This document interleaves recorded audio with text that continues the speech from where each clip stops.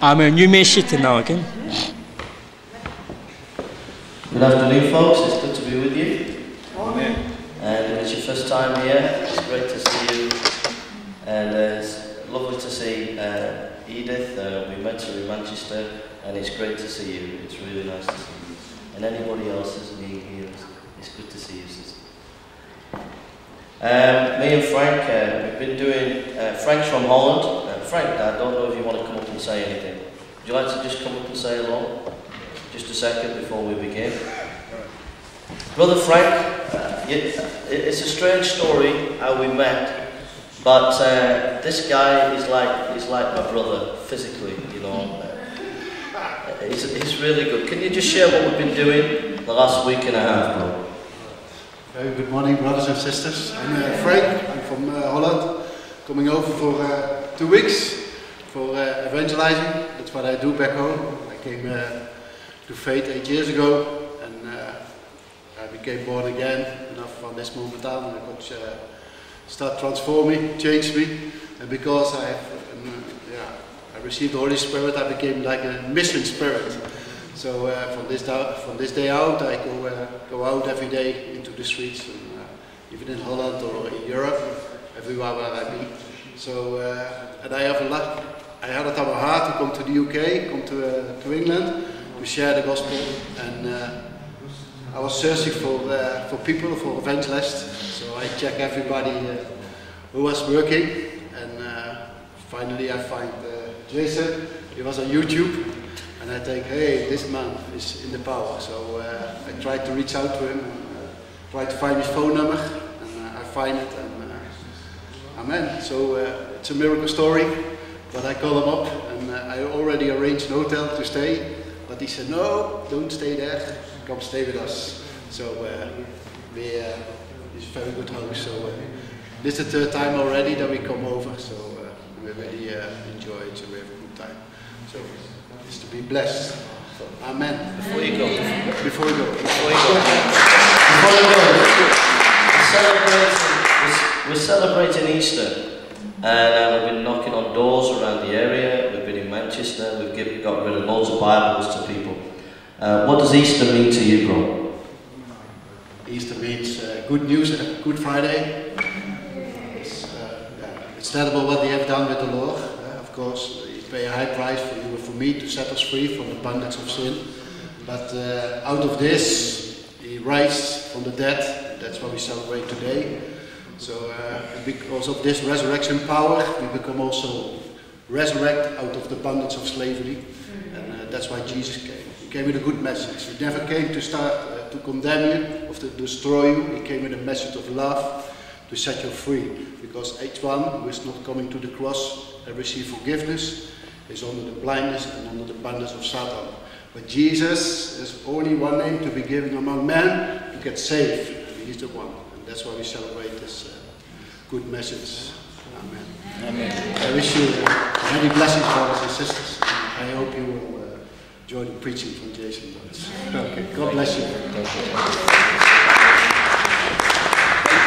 you, uh Brother Frank's a great blessing to me. Uh, when you're out with Frank, he just has a love, such a love for people, uh, and it just encourages me to keep humble when I'm with him because he, he's such a humble guy, uh, and it's wonderful. So uh, I thank God for Frank Kadeem uh, and the family, and what a blessing.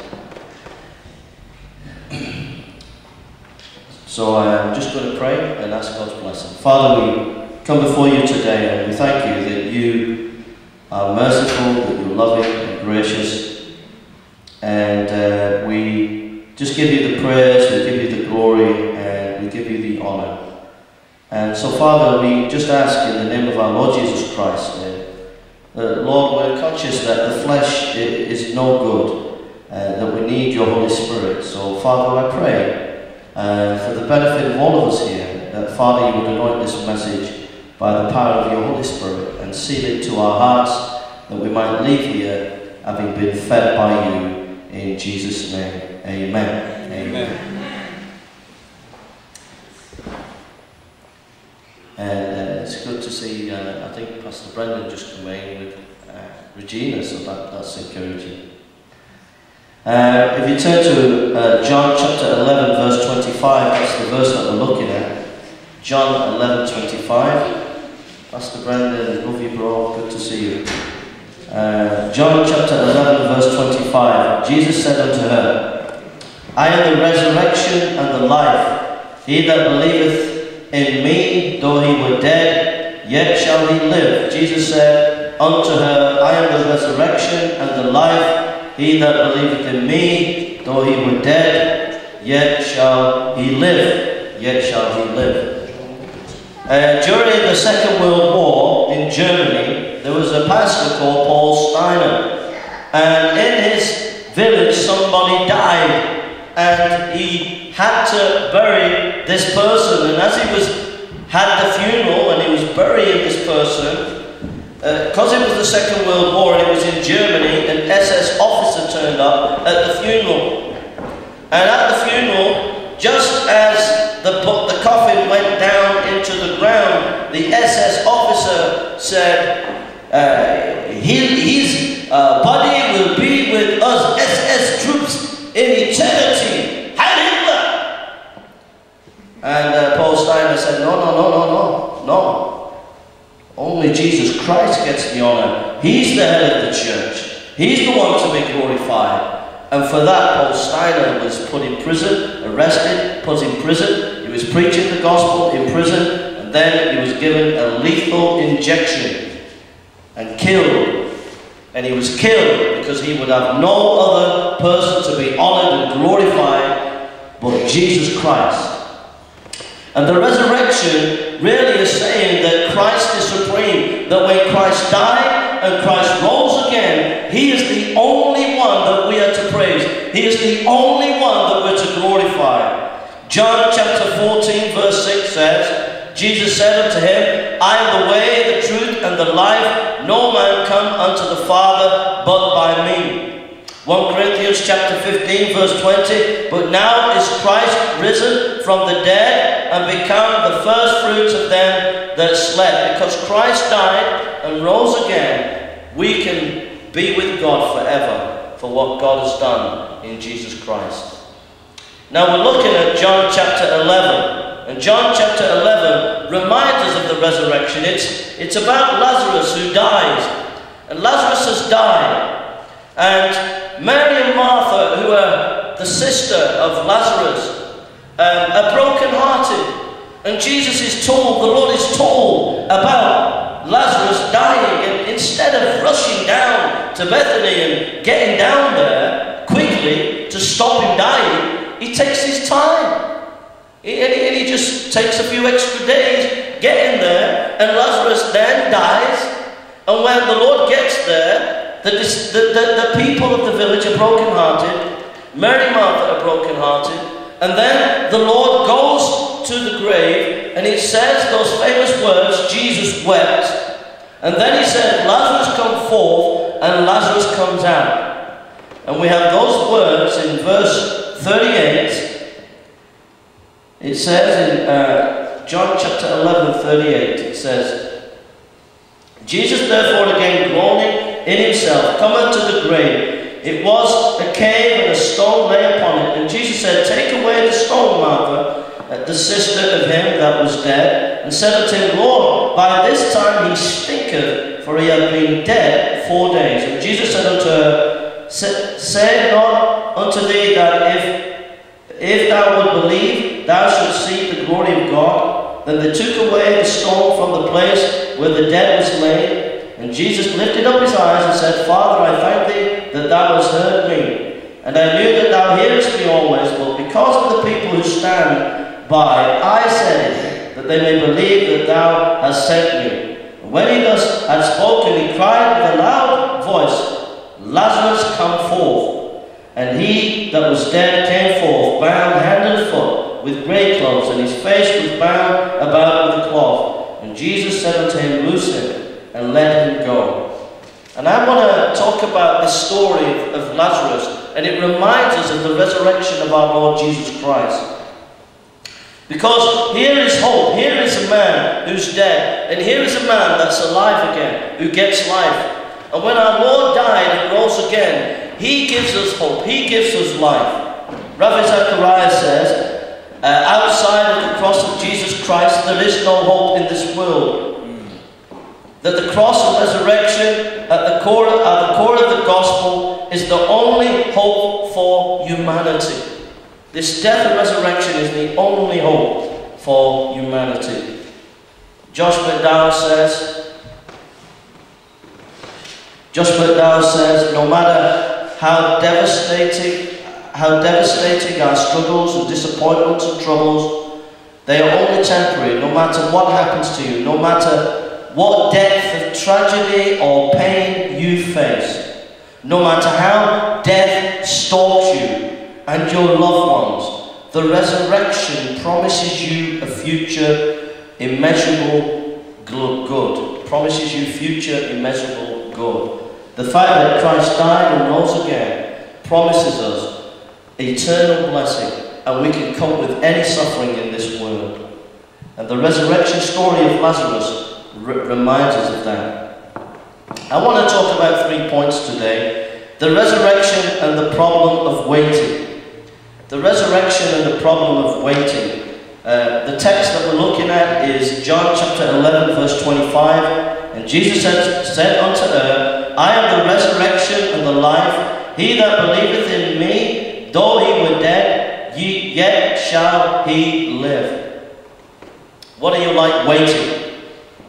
What are you like waiting for the bus? And you're waiting and you're waiting and you're waiting and the bus doesn't come. Does it get you annoyed? Or when you go to the bank or you go to the post office and you get there and you go, oh, mamma mia. And you see a big queue and you've got to wait and wait and wait. We don't like to wait, do we? We don't like to wait.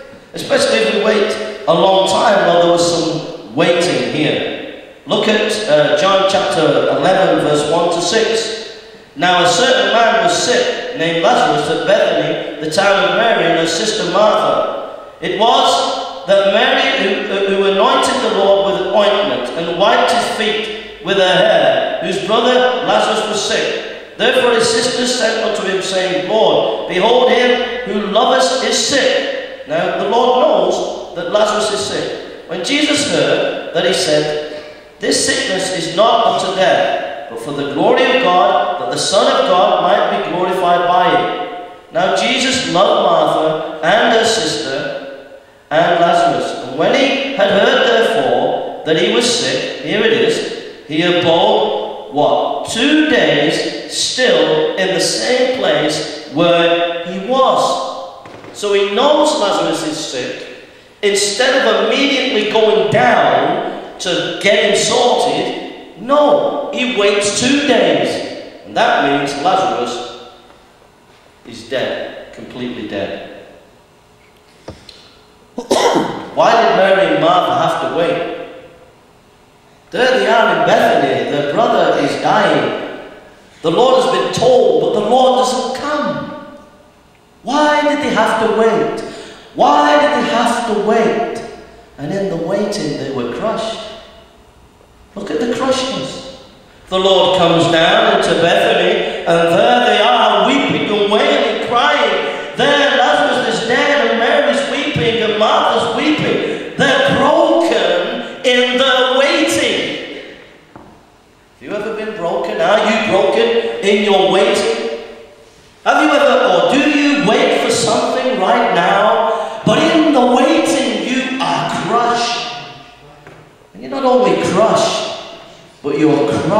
the very core of your being. They were crushed to the very core of their being. Their brother had died, and they were waiting for God, and God didn't seem to turn up in the waiting. Have you ever felt like that? I'm oh, waiting, God, and, you, and, and, and you're so broken and you're so crushed in that waiting.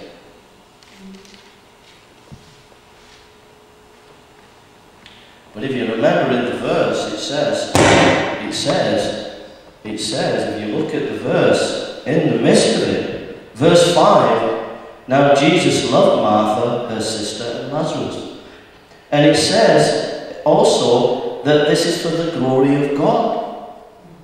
So you know why you have to wait? You know why you have to go through the crushing? Because God's glory is going to be manifested in that Amen. for you. And as you wait and you feel that the waiting is hopeless, He loves you in it. You say, Well, Jay, I don't get this. Listen, they waited, they waited, and then this brother was dead, but then the Lord said, Lazarus, come forth, and Mary and Martha learned faith. They learned that Jesus loved them. They learned that Jesus had the power over death. They learned that Jesus is the resurrection and the life in the pain and the waiting. And in your pain, you're going to learn how great your Lord is. Because when He blesses you, when He opens the door, you're going to say, Glory be to God. It was nothing of man, it was all of my Lord. You're going to see how great Jesus is. You're going to praise Jesus. You're going to love Him more. You're going to follow Him more. But you would never get to that place if you didn't have to wait. You would never have got there. But now that you've had to wait, and now that you wait and He comes to you in your waiting, now you learn how great He is and how much He does love you.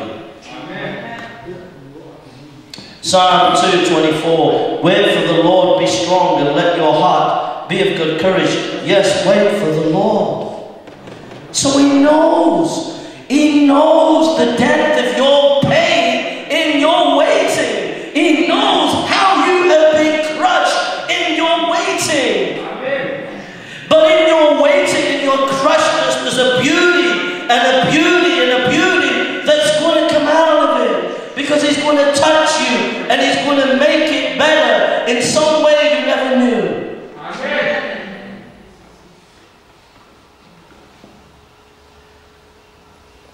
Lead me in your truth and teach me for you, the God of my salvation.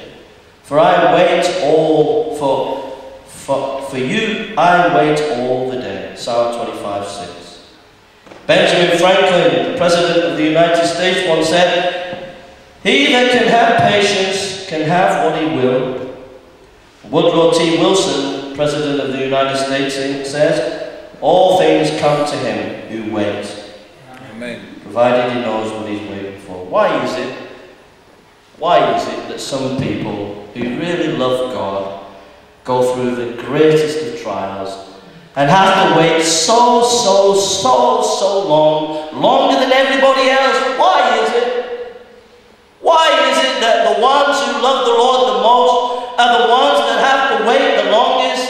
And suffer the longest? Why? Because he loves them the most and he wants to show them how much he loves them because in the midst of that long waiting they learn so much about their Lord. So you might have been waiting a long time. Boy, you ain't half loved. and boy, aren't you going to learn a lot of lessons from this waiting. Amen. And you're going to be blessed. Amen. Second point the resurrection and the waiting, so that Christ, because he rose from the dead, is able to hear your cry, is able to hear and respond to your waiting, and he'll respond in his time, even if you have to wait 30 years, it'll be worth it at the end of the day. and the resurrection proves that he can answer and help you in your waiting. And the fact that he rose Lazarus from the dead is proof that He is a God who will come in the time of waiting. Secondly, the resurrection and the problem of pain. So we go to John chapter 11, 25. Jesus said unto her, I am the resurrection and the life. He that believeth in me, though he was dead, yet shall he live. Jesus said unto her,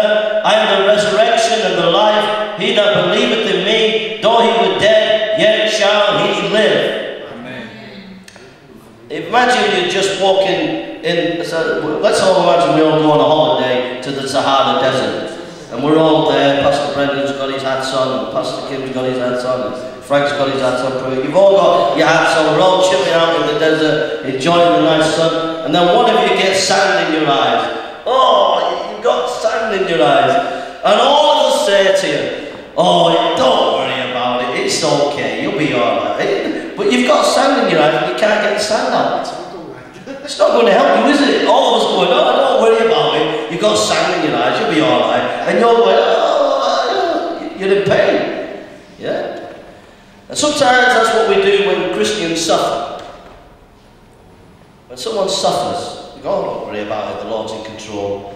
But when you've got sand in your eyes, it's not going to help, is it? Is it? Yeah? You want to get that sand out, don't you? You don't want someone patting you on the back saying it's going, going to be all right. You are in pain and you need help fast. Just look at John chapter 11, verse 33 and 40. When Jesus therefore saw, let's give praise to Jesus. When Jesus therefore saw her weeping, and the Jews also weeping who came with her, he groaned in the spirit and was troubled, and said, Where said unto him, Lord, come and see.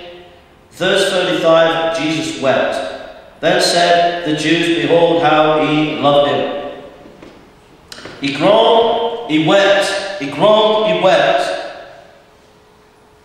What's the idea of this groaning and, and weeping? What, what does it mean? Well, the Greek has the idea, this is interesting. The Greek has the, we, we have the idea here that Jesus is, is, is, is when he's weeping and he's groaning, that he's, he's showing compassion. And, the, and, and there is, that's some of the idea there. But the original Greek has the idea of a horse snorting. right? So you think, what's that all about? You know when a horse goes like that, or a bull, a bull, yeah, gets angry. That's the idea. The Lord is looking around and he sees the Jewish people not believing. He sees the Jewish people crying and he's angry. He's angry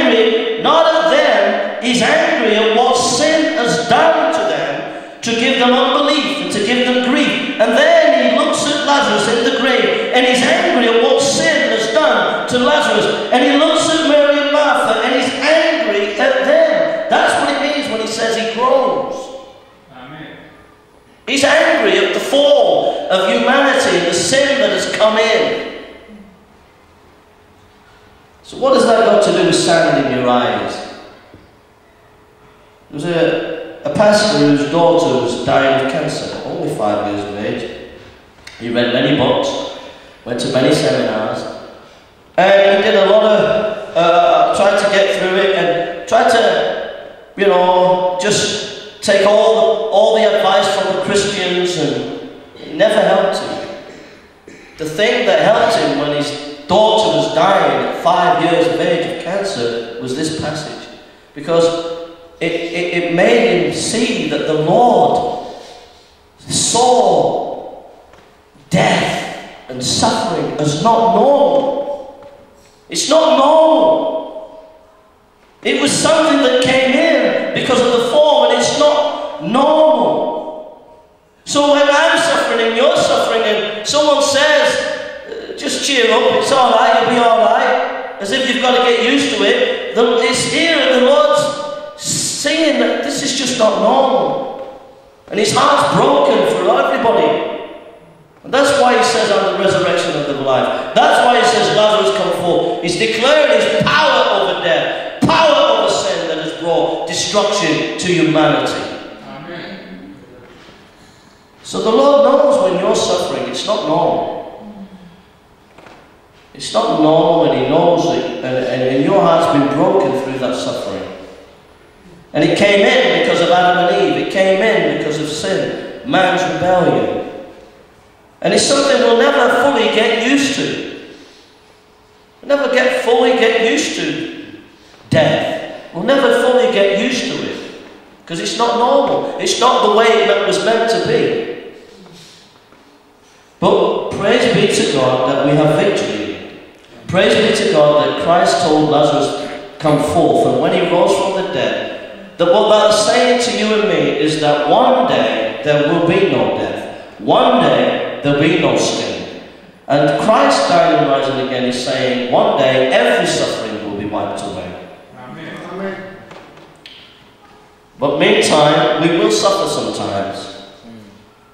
And uh, it says in uh, 2 Corinthians chapter 1 uh, that God is a God of all comfort who comforts us so that we may comfort others. You can read 2 Corinthians chapter 12, verse 9 and 10. My grace is sufficient for you. This is a guy, Paul, being persecuted, whipped, beaten, mocked. My grace is sufficient for you. It says in Romans 8, 17, 18, Yet while we suffer now is, is nothing compared to what will be revealed to us later. Amen. You see, if you believe that Jesus dies and rose again, you have a hope for the future, eternally, that you are going to be forever. If you believe Jesus died and rose again, then He's alive today and He can help you and comfort you in your suffering. But let's just be atheists for a second. Let's pack our Bible up and let's be an atheist for one minute. What do we get as an atheist? If there is no God, death means you just die, you're like a little flea, and that's it, poof, you're gone. And that's the end of it. The world wasn't bothered you came, nobody was bothered you came, you just came, poof, you're gone. You're like a little flea at the edge of the universe. If there is no God, death doesn't mean anything. If there is no God, pain doesn't mean anything. That's the logic of it. Because there is a God, there's an evil, and pain means something, and death means something, but there's hope after death. It's been conquered in Christ. Amen. So, number one, the resurrection and hope uh, in the waiting. Number two, the resurrection and the pain. And then, thirdly, the resurrection and the new life. John chapter 11, verse 25. It says, He that. Sorry, sorry. Uh, John chapter 11, verse 25. Jesus said unto her, I am the resurrection and the life. He that believeth in me, though he were dead, yet shall he live. Death to Lazarus. Lazarus is dead. What does that mean? Within three hours of his death, his body would start to get rigor mortis, it would start to get stiff. After 29 hours, the whole of the heat from his body would have gone. After 72 hours, his body then goes soft again, but then green goo comes out and gases start to come out. That's why they smell. And that's when the insects and the animals start to get their feed. So when the Lord came to the village and Lazarus is dead and the people are crying, you couldn't have asked for a more hopeless situation. It was hopeless on a human level. There was goo coming out of his body. He was stinking like I don't know what. Even though they put spices on him, he was dead. And there was no hope. And then in John chapter 11, verse 43, it says, When he thus had spoken, he cried with a loud voice, don't forget, death, no hope. And when he thus had spoken, he cried with a loud voice, Lazarus come forth. And he that was dead came forth, bound hand and foot with grave clothes, and his face was bound with cloth. And Jesus said to him, Loose him, and let him go. Lazarus was dead, now he comes out with his grave clothes, and he's alive.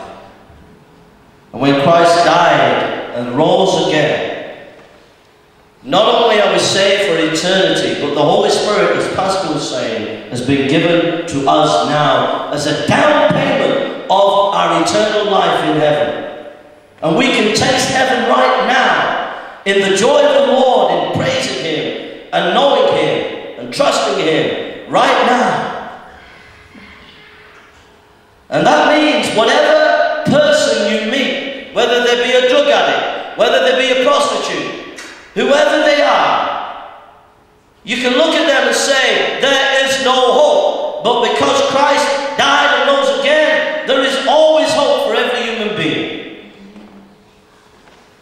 Maria Garrett was a pastor's wife in Baltimore and wrote a book called 1000 Resurrections. She was 30 years in the ministry in the inner city. She couldn't believe her eyes when she was working in the inner city. She left seminary. She goes and meets with this pastor who she loved. a pastor's wife in Baltimore. There she is, thinking it's going to be a nice life with books and preaching and it's going to be lovely. And she said, I never knew that I'd meet prostitutes. I never knew that I'd meet drug addicts. I never knew that I'd see kids being killed and shot in the